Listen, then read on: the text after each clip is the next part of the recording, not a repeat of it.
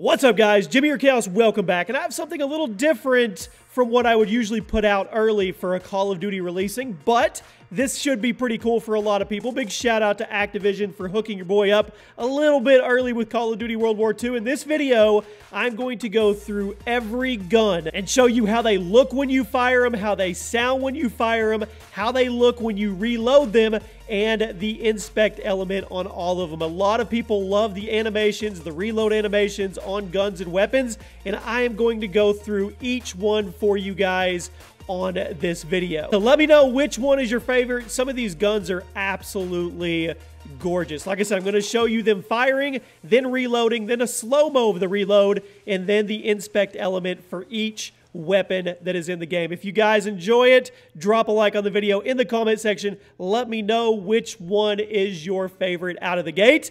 And Call of Duty World War II is here, my friends.